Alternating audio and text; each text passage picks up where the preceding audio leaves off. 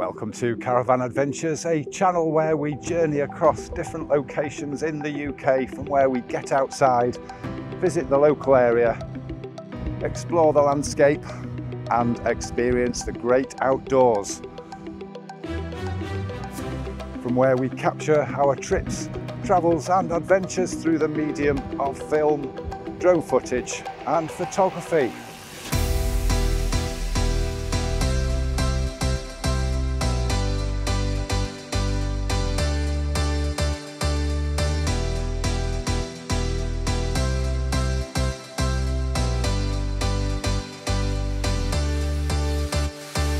I'm Andrew. Here's Vicky.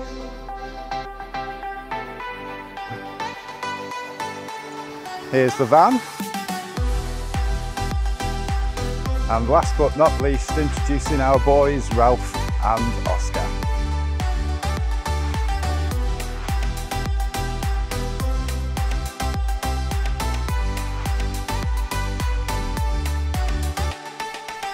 This week we've arrived in the historic medieval market town of Tewkesbury in Gloucestershire, staying at the Tewkesbury Abbey motorhome and caravan site from where our adventures begin.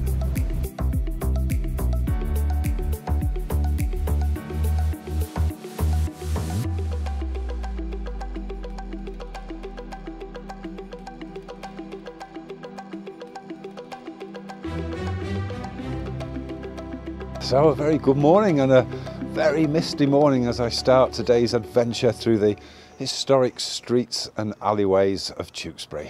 So we're walking up Church Street, turning into Old Baptist Chapel Court and hidden down one of Tewkesbury's famous alleyways is this special historical place, home to the Old Baptist Chapel, its court and burial ground, which was an important religious place for the Baptist community of the past.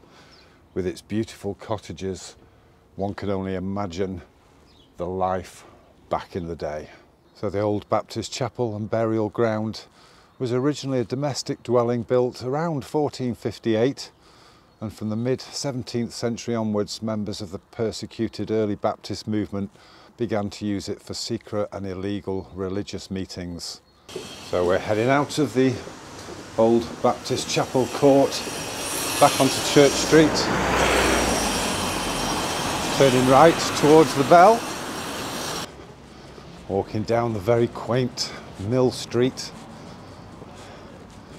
towards the Abbey Mill down there at the bottom.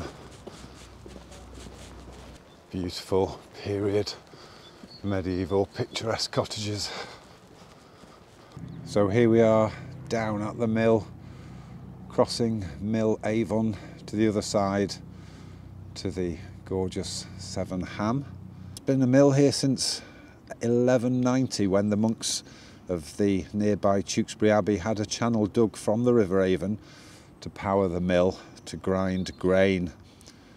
The channel is known as Mill Avon and extends from the Avon to the Severn at the southern edge of Tewkesbury. The 12th century mill was rebuilt in 1793 with four wheels and remained in operation until 1920. More recently, it's housed a cafe together with shops selling antiques and souvenirs and most recently it's undergone conversion to apartments with its handsome collection of hipped and gabled roofs, mottled brick walls and weatherboard extensions.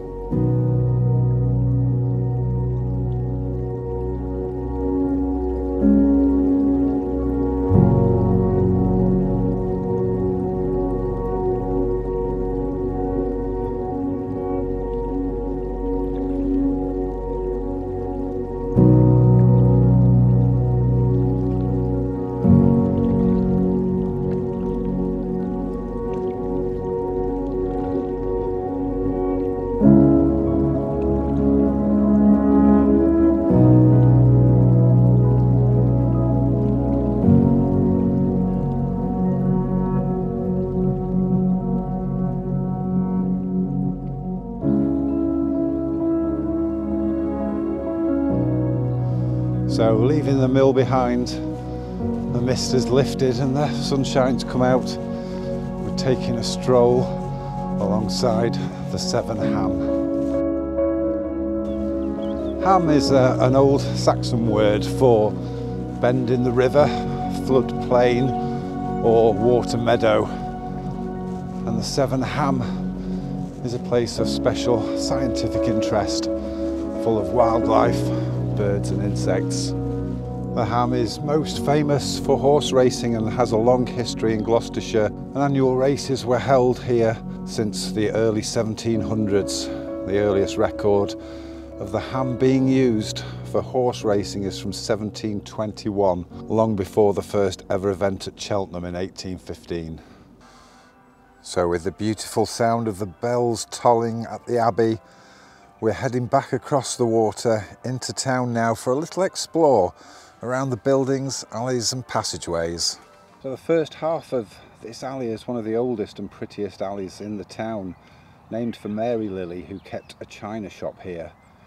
It once housed a clay smoking pipe manufacturers and the pipes were made in moulds and then hung on the alley walls to dry. One cottage is now named Clay Pipes after the trade. So this is one of a group of alleys running from Barton Street to Swillgate. And like many alleys in Tewkesbury, they have a curve line said to act as a brake to stop the winds tunnelling up the alley. Named after the Compton family who ran a furniture shop in the front house. And then as we reach the bottom of Compton's alley, we come back onto Swillgate Road, turn left and uh, find ourselves in Fletcher Alley. In 1924, Mrs. Sarah Ann Fletcher died in the workhouse. She was 102 years old and blind. She was the widow of Richard Fletcher, gunsmith, and bell hanger. They were a dynasty of Fletcher gunsmiths who had two shops in Tewkesbury, as well as gunsmiths in Worcester and Gloucester. Coming out onto Barton Street, taking a right before we reach Hughes Alley with this lovely mural. And it's pretty uninspiring down here, I must admit. Especially when we get to this pile of rubble where they've knocked some cottages down. And at the end of Hughes Alley, we're back on Swillgate turning left into Fish Alley.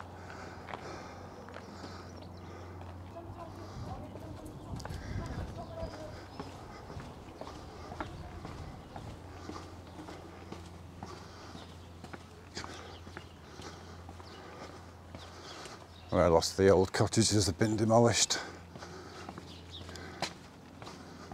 Walking our way back up to the top.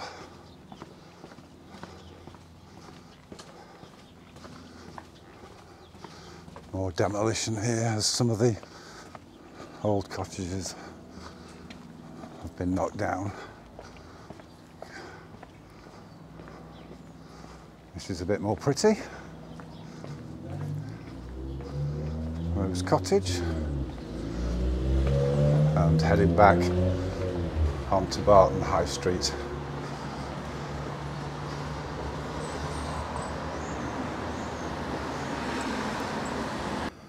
So here we are in Turner's Court and like many alleys the name comes from a past occupant of the front house, in this case Mr Turner, a stocking knitter. And in common with the rest of Tewkesbury, drowning was an ever-present danger and Turner's Court seems to have had more than its share of tragedy. In 1902, the four-year-old James Green drowned in the Swillgate when his grandmother sent him home unoccupied from her house in Parker's Court, Barton Street, back to Turner's Court. He strayed down to the Swillgate, fell in and drowned. So whilst walking the streets of Tewkesbury and enjoying the historical buildings, the passageways and alleys, it pays to look up and here you can see a tiny window in the top of this medieval building which overlooks the cross in the town centre. Having spoken to a local, She reliably informed me that this window was used to peruse and view the stonings that were taking place at the cross. And as you can see, it's a great vantage point to witness such persecution. And indeed, etched into the wall at the side of the window are many of the names of the victims that suffered at the hand of the populace.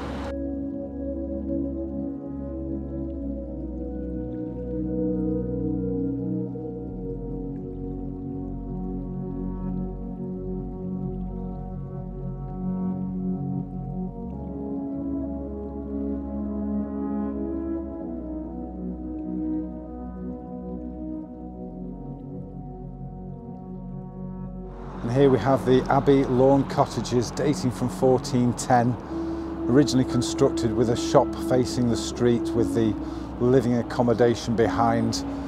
These were rented to merchants and their families with wooden shutters that opened onto the street from which goods were sold. Walking down Mill Street, we have these beautiful, quaint, picturesque cottages bathed in the late afternoon light, heading down towards Abbey Mill and Mill Avon as we approach sunset. These are just beautiful. Had a quick check on Rightmove and one of these, I'm not sure which one, but one of them's for sale at £250,000. Beautiful spot. Look at that.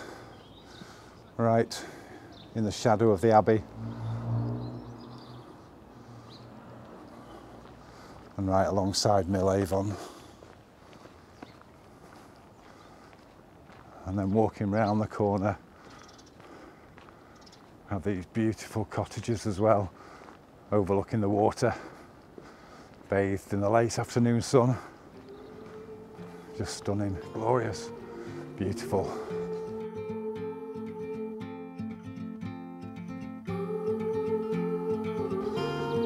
We are in the beautiful walled Victorian gardens down by Mill Avon with a beautiful willow tree. Ah.